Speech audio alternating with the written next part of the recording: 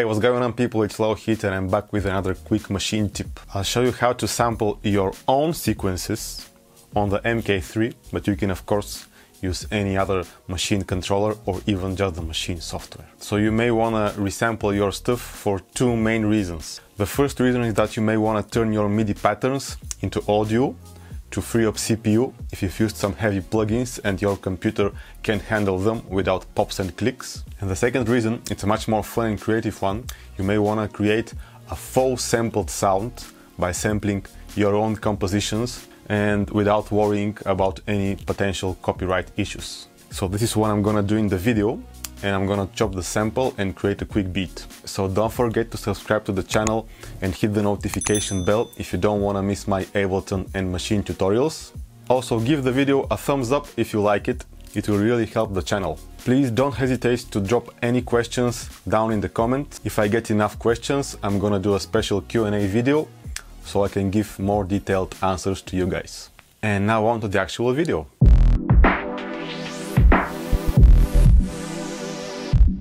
Okay, so I created this pattern by combining a couple of instruments and this is what I'm gonna be resampling today.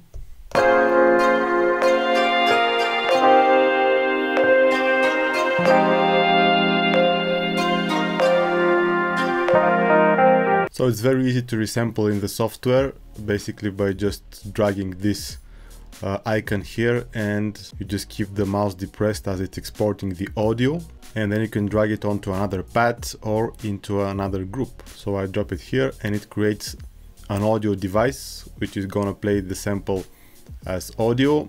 You can of course convert it to a sampler by choosing internal sampler or like I said you can move it to another group quite easily. But if you've watched my videos you know that I definitely insist on working on the controller as much as possible. So now I'm gonna show you how to do it with the controller. Okay so I want to resample to group C. I go to group C choose which pad I want to resample to pad 1 press sampling and as an input source I select internal. And as an input I choose the group that I want to resample from. So you can resample from the master or from any group that you have in the project. And I select my group. And I want to have the sync mode selected and I'm going to choose a length of 4 bars as that's the length of my loop. Sync mode works a bit different from the detect mode. You press the start button and it will start sampling when you start your sequencer. So it's so now it's waiting for me to start the sequencer.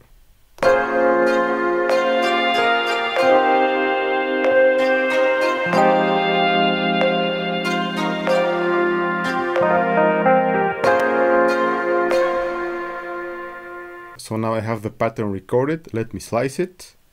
Go to the slice mode. And I'm going to use the manual slicing.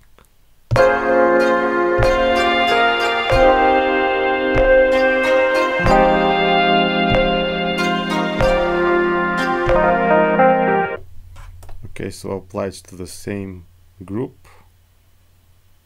Press OK. Okay, so now I'm gonna try to play with the slices on top of a drum pattern that I've recorded beforehand. And I'm gonna set the polyphony to 1, of course, like always.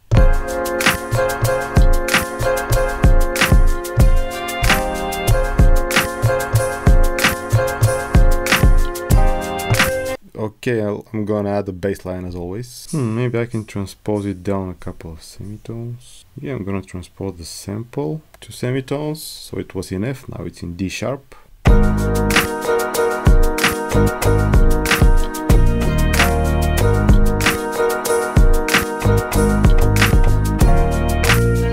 Let me mess with the sample a bit more. SP1200 engine and filter and another LFO to the filter.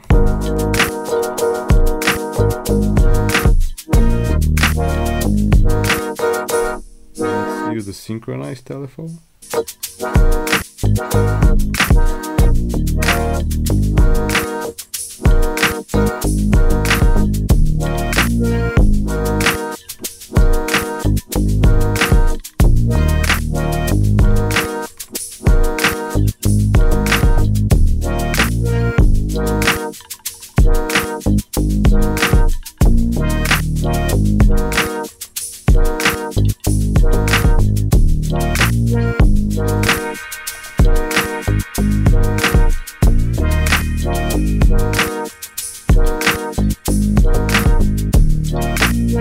telephone. thank you so much for watching guys, I really appreciate it. Again, I remind you to ask questions in the comments and if I get enough questions, I'm gonna do a special Q&A video so I can give more detailed answers. Don't forget to subscribe of course, hit the notification bell, follow me on Instagram at lowheatbeats and that's all for now. See you soon.